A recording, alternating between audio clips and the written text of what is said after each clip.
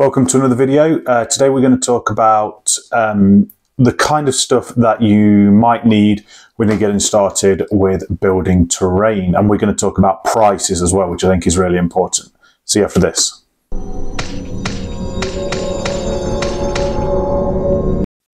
Okay, this video came about from one of um, my subscribers asking the question in the comments, really, talking about they want to get started in building terrain, um, but it's it's quite difficult, I think, sometimes to find out how much you need, how much stuff costs, whether it's essential, whether you really need it, whether you can get away with um, less. You know, there's some fantastic terrain makers out there, but mostly we, don't, you know, they don't talk about how much things cost, which is quite important when you're getting started out. You know, it's, how how much is this going to cost me to get started with this hobby? And the stuff I'm going to talk about today, I'm going to break it down into sections um, and I'm going to give my kind of recommended if you have to buy only one from each section, which one would I buy? Um, I'll talk about the costs of everything. I'm wary to use words like essential. Whenever you get into stuff like this, what is essential for me won't be essential for you or for a load of other people out there. So, kind of, I'm going to talk through the use cases for each thing and why I think they are essential for me. What I, if I could go back in time to when I first started building terrain, what I wish I'd knew to buy first, if that makes sense. And again, it might change if you're looking to build buildings and houses. The stuff you will find useful will be completely different to the stuff if you are going out to build big boards or terrain or dioramas. So I'll, I'll kind of talk about all of that as well. Um, like I said, I'll break it down into sections. I'd love to hear anything that I've missed in the comments below, what you think I've missed, what you think you can add to it. If there are cheaper options available, that that's always great. I will do a section at the end where I kind of talk about free or very, very cheap um, things that you can use as well. So stick around for that.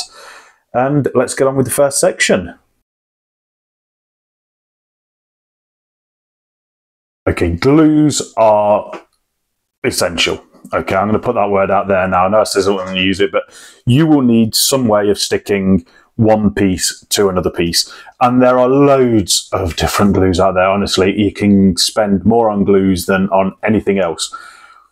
I'm going to go through the different types of glue that you're probably going to come across that you might think, do I need that? Do I not need that? I'll talk about why you might need each one.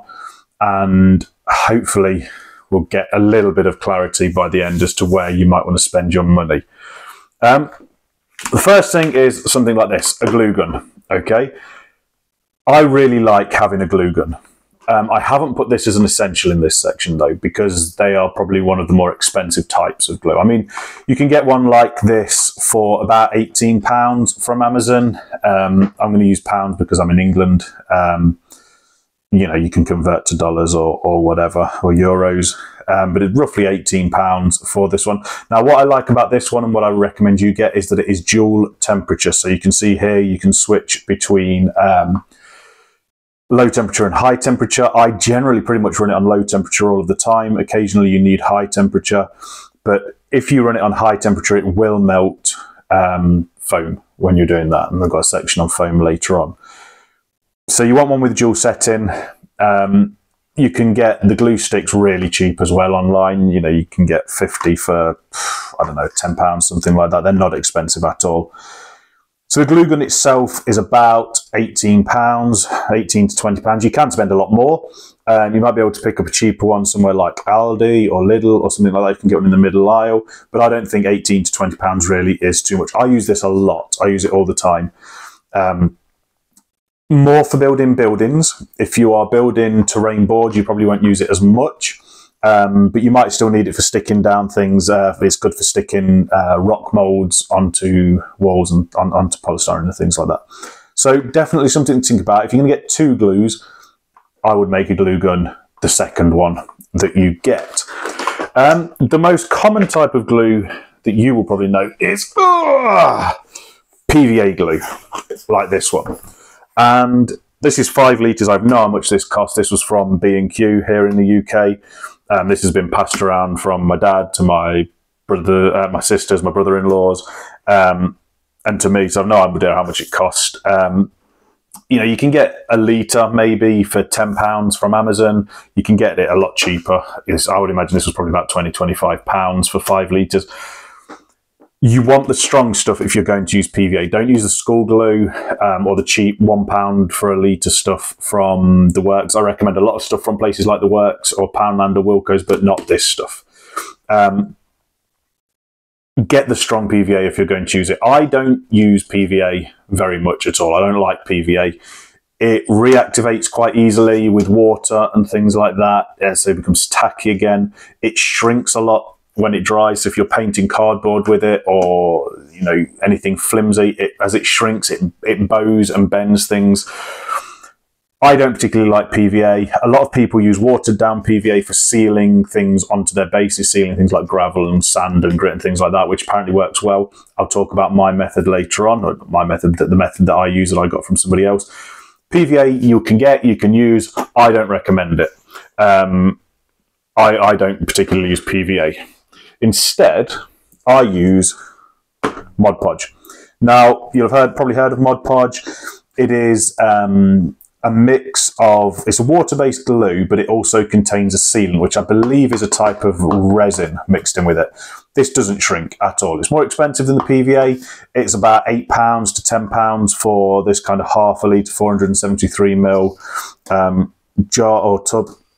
But it is well worth it. You can mix it with paint to paint uh, to seal foam and things like that. Um, this is what I've put as my essential glue in the, or my recommended glue. If you're only going to buy one glue, I would buy Mod Podge. It works like PVA, so you can stick cardboard and things like that together. It sticks foam together and things like that. The other thing I should say about PVA is that PVA needs air to dry. Um, so if you're gluing two pieces of big foam, two big pieces of foam together, like on a board or something like that, it will take PVA a long time to dry. Okay, like you're talking days. Um, Mod Podge is quicker. It's still not quick. If you're going to stick um, pieces, big pieces of foam together, I would use contact adhesive, something like um, no nails or Gorilla Glue or something like you know the stuff that comes in the long tubes um, with the um, guns you get like sealant, like silicone and things like that. I haven't actually got any here with me to show here because I didn't think about that. But yeah, if you're going to stick big pieces of foam together, get contact adhesive rather than trying to use Mod Podge or PVA. It'll be a waste of Mod Podge and it'll take ages to dry with PVA.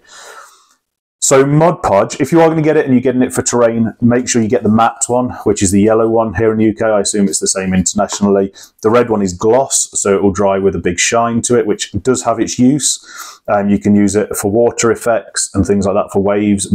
But for most of your terrain stuff, you will want the matte finish. Okay, so that is my recommended for this. It's about eight to ten pounds um, for this kind of size. Another glue, of course, that you might need is super glue. I always use this GH 1200 um, stuff because I bought it in bulk from Amazon.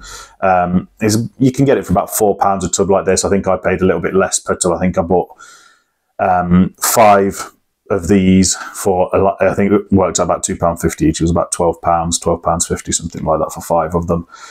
Any super glue will do. Um, gel super glue is thicker um, so it kind of holds things in place. That's more important if you're doing minis. But you might use this to kind of stick down um, rocks and things like you know stones and things like that to your base.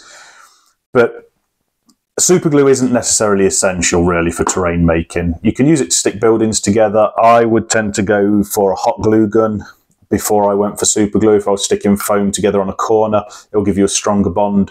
Super glue has a tendency to melt foam. Um, unless you get foam safe super glue, uh, which is more expensive. So super glue is handy. It's more important for models than it is for terrain making. But if you are going to get it, I would definitely get an activator with it, which is another five pounds or so. Um, the activator just speeds up, so it dries in seconds. So you put the super glue on, spray the activator either on the opposite surface or onto the join when it's connected, um, and then it, like I say, dry. It sets in seconds. Um, you can do the same thing just by sprinkling baking powder on it as well. Uh, I've never done that, but I've seen videos where they do it. I just use the activator. And again, that's about five pounds for a can like this, or you can bulk buy it um, and pay less per can. Um, I tend to get through quite a lot because I glue together a lot of minis with it. So for glues, my recommended is definitely matte Mod Podge. I would go for first. If you are going to get two, and I would recommend getting two in this case, get yourself a dual temperature hot glue gun. It sticks what this doesn't. With these two, if you've got these two, you can't really go wrong. Pretty much everything that you'll need to stick will stick. When it comes to cutting things, um, there are lots of different ways, and it depends what you're going to be cutting. I would definitely, I mean, mine's absolutely filthy, but I would definitely recommend getting something like this, a cutting mat. This one's um, roughly A3 size, something like that. Um, I would get a cutting mat. It will protect your surfaces. It's definitely worth getting. Um, and I would get a good knife. So this was about five pounds um, from Wilko's. Now they're just going into administration, but you can find cheaper one, uh, find cheap ones like that around. Um, it's one that you can change the blades on. Um, it, you can see how dirty and battered it is. They they get gunked up, they get cut up. Don't spend loads on a knife. You can get the ones with the snap-off blades, the really cheap ones from Poundland. They're absolutely fine. All you need is a sharp blade, and I say that obviously, you know, it seems obvious with a knife you need a sharp blade, but you'll need a lot of blades. If you are cutting foam, in particular if you're cutting XPS, which we'll get to in a bit, it will dull the blade really quickly. So you will get through them. Um, bulk buy them where you can. Um, you know, the snap off blades are quite good for that because you can just snap off the end and, and use them. I tend to use this one. It doesn't have a particularly long blade, which can be a bit cumbersome if you're cutting through thick polystyrene. Um, but for cutting through cardboard or plastic or things like that, this absolutely does the job. It's not difficult um, to cut through. Uh, it's got a nice grip, which is really, really important. I find the thin snap-off blades um, too thin. I find they hurt my hand when I'm trying to cut for any length of time. Uh, like I said, this was a couple of quid, maybe five pounds, something like that. Snap-off blades are even cheaper. So I would say that a blade like this is definitely kind of a requirement. You will need some form of cutting tool to cut through, whether it's um, to cut through um, things like coffee stirrers. You might use um, pin snips or some uh, metal, uh, tin snips. Sorry, not pin snips, tin snips. You can even use scissors and things like that. But having something like this makes it a lot easier. Okay, so that, that's my recommended in this stage.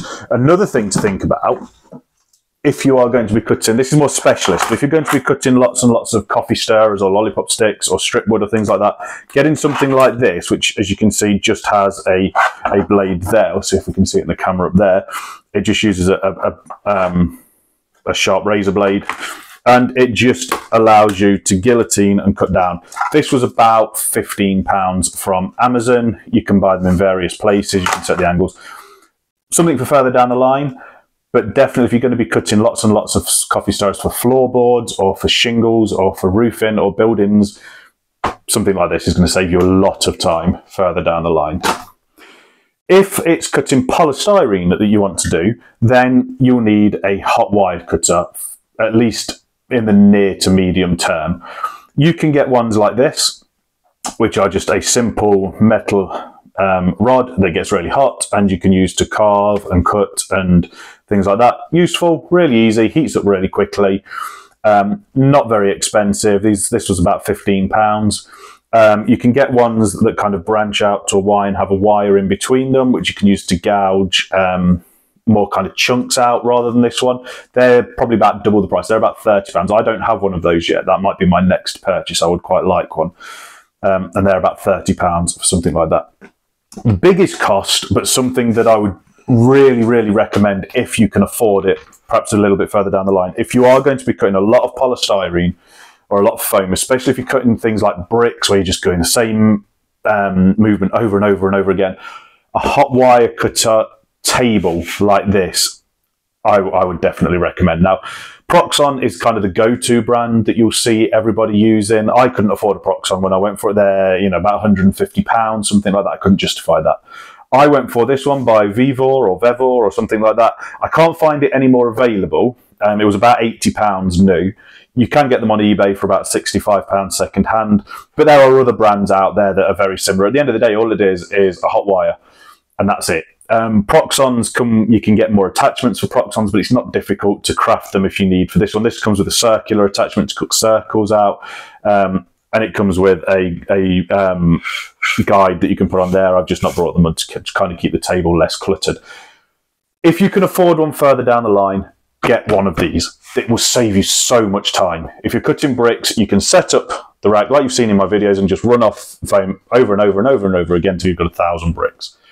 You don't have to measure everything. You don't have to sit there with a knife. It will just save you so much time if you're going to cut that amount of foam down the line. But for now, to get started, I would say a good knife is, is about all you need, really. Something like this will cut foam, it will cut cardboard, it will cut plastic, it will do everything you need to do. It might just take you a bit longer. So to get started, I'm going to put that as about five pounds, and that should be a good start for cutting.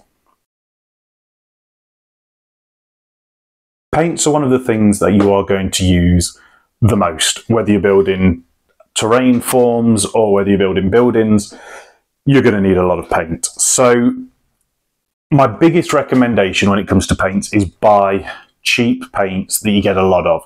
I use these kinds, so like the Graduate or the Crawford and Black.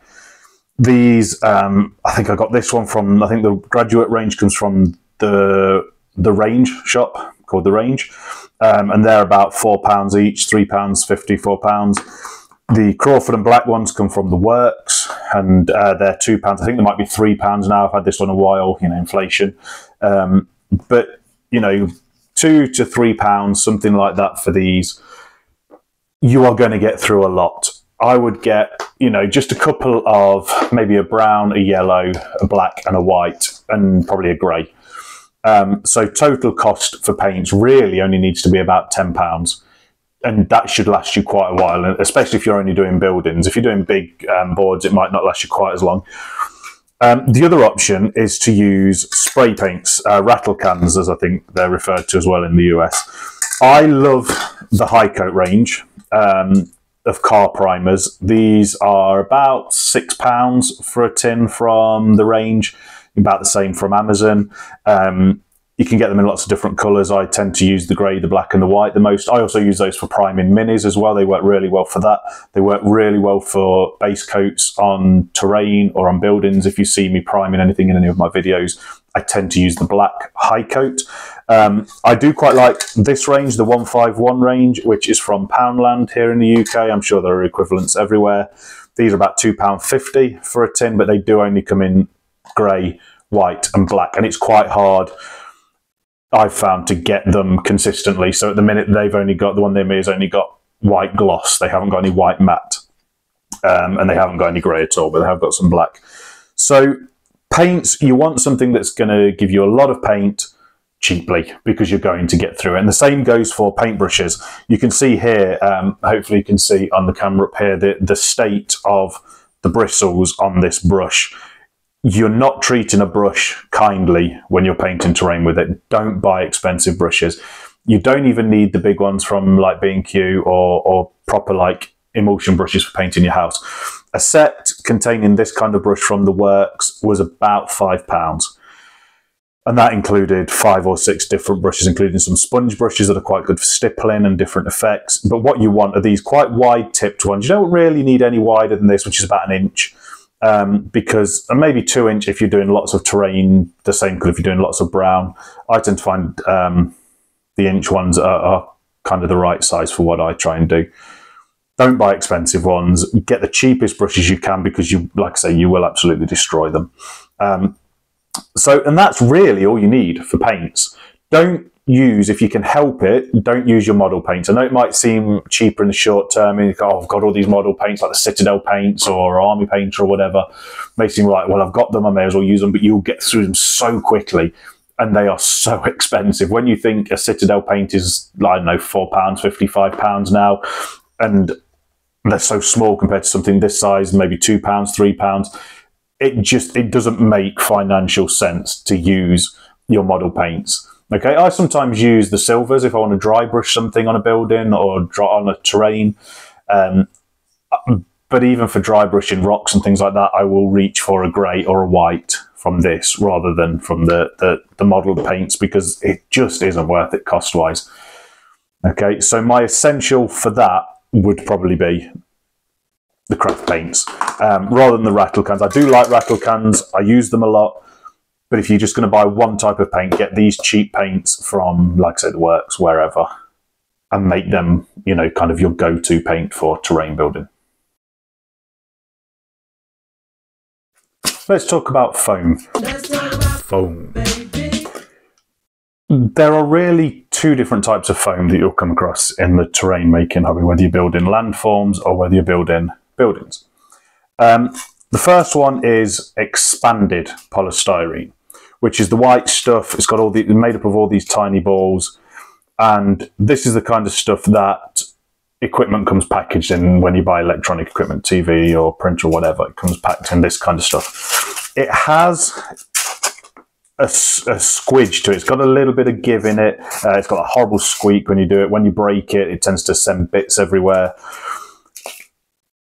This stuff is not very good for texturing. Okay, you can't make a mark in it. You can't texture it with a roller. You can't carve bricks into it. It doesn't leave a very nice surface when you cut it, even with a hot wire cutter but it is great for packing out. So if you are building a big hill or you're building a big piece of terrain, you'll see in my latest video where I'm building the Necromunda board, I use this stuff underneath the tiles that I've cast because it's cheap, it's very light, and if all you need is something to just fill a gap, this stuff is great. Um, and you can get it for free whenever you get anything, um, when you buy anything electronic normally. So it's worth hanging on to.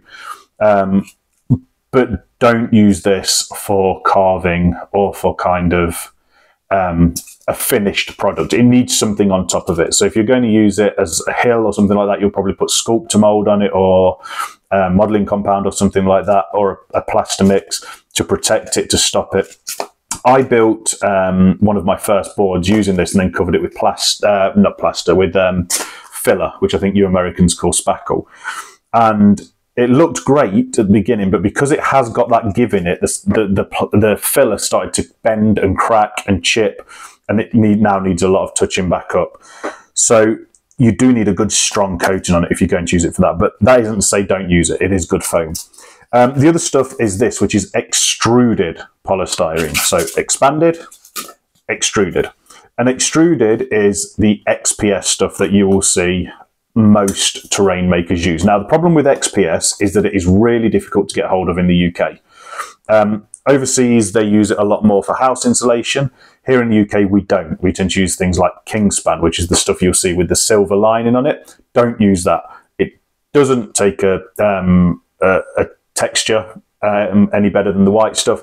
It breaks up really easy into like a horrible powder, and you because it's heat resistant, you can't cut it with a hot wire cutter. Just give it a swerve. Don't touch the Kingspan or Celotex or any of that kind of silverback stuff. You want XPS. Now, in the UK, you can get it normally in like the six mil thickness stuff as underfloor insulation um, or laminate floor insulation, and that's fine if you just want the six mil stuff. The thicker stuff, I've found you have to go to specialist insulation companies or on eBay. Um, I paid around £12 per sheet for a 1200 by 600 millimeter sheet on eBay. The problem is you have to order five sheets at once. Most have a minimum of five sheets ordered. So that was £60 for the XPS, but I've got more XPS than I need for now. So I've got a lot to last me, but it is a big initial outlay, which is really frustrating because, like I say, in the US, um, you can just kind of go into any DIY store, it seems, and buy it, whereas you can't here in the UK. And that was for 30 mil thick stuff. I didn't go for the 50 mil thick because I kind of figured well, if I need 50 mil, I can just put two 30 mils on top of each other or cut it down or whatever. So XPS is the best stuff because this you can carve, you can engrave, you can put a texture roller over it. It's stiff, it has very little give in it. It's really strong, really tough. But it is very hard to get hold of in the UK, or it can be quite expensive to get hold of in the UK. The other thing to remember is that if you are using rattle cans like these, it doesn't matter which foam you are using, the solvent in the rattle can, not the paint, but the solvent in the rattle can, the, the, the actual spray bit, will melt polystyrene, will melt both types of foam if you spray it too close. That's why I coat everything in Mod Podge first, because Mod Podge gives it a protective layer before you hit it with the rattle can. You can spray it from further away and try and find that balance. I'm not very good at finding the balance. I always end up melting a little bit of it anyway. The other thing you might see is foam core, which tends to be very thin XPS, maybe 3 mil XPS sandwiched between two sheets of cardboard. I use it occasionally. It's quite good for building walls. It does have a very shiny finish on it. There is an um, foam core that you can get in America, but I've not seen it in the UK where you can easily peel off the paper and then use the XPS foam underneath. I've not found any like that in the UK. It seems really hard to peel off, so I just don't bother with it. I tend to use the XPS. But if you do want foam core, you can get that for about a pound per A3 sheet on Amazon if you buy in bulk. So I think that came out at about £16 for 16 A3 sheets, something like that. Um, so that's worth looking into. But I would stick, if you can, to XPS. Um, like I say, £12 a sheet, but you do generally have to buy five sheets at once, which makes it about £60. So it is quite a big expense. So if you can make the most of this stuff, do so. But if you want something that you need to carve, or you want to build bricks, or you want to put a texture roller on, you're going to need XPS. That's pretty much the stuff that I think you'll need to get started. Okay, you'll need a good glue, You'll need a good cutter. Um, you will need pro probably need some foam of some kind if you're going to make big terrain like landscapes. If you're going to make buildings, you don't need that. We'll come to that in the free stuff in a minute. Um, but that's kind of it. You'll need some paints. So if you've got the cheap paints, you've got the cheap cutter, like a cheap knife or something like that. If you've got um, something like Mod Podge, and if you've got um, a cheap, so what did I say? So you need cheap glue, cheap paint, cheap um, building material, whether it's foam or whatever, and then cheap cutter. Those four things will pretty much get you started. Okay, the other kind of stuff that you might want further down the line, I've put that here just so that I can give you prices in case you're wondering. Um, you might want to do a resin pour. So if you want to do some deeper water, you might want a resin pour. So for two part resin, I kind of just use the cheap stuff from Amazon. You're looking at about £25 per litre. Um, if you want to make some silicon molds, like I have been recently for my Necromunda board, check out the video up here. Um, that's about £20 for half a litre-ish, give or take. Uh, I then used casting resin, so polyurethane resin. That's about £24 for a kilogram, um, which tends to go quite a long way. Uh, I did that whole Necromunda board with about a kilogram's worth. I know I ran out halfway through, but that was because I'd used half of it before. You might want something like Sculptamold or modelling compound.